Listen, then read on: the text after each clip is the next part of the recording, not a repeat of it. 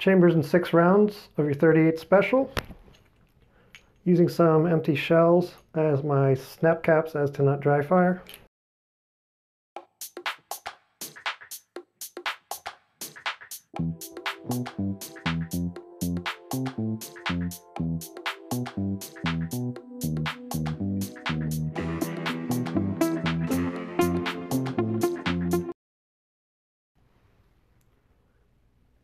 There you go.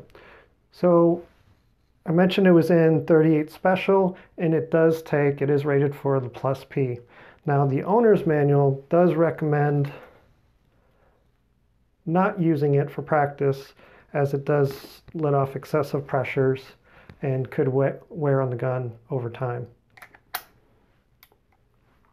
You're going to have a double action, single action, single, and double.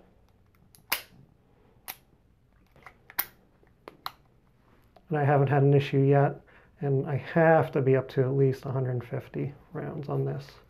Now you're going to see that it's got a fixed sight. A little something to show you. So I was talking to ballistics, I'll show it on the video. This was a 38 special wall ammo that I shot into 500 sheets of printer paper. Kind of neat.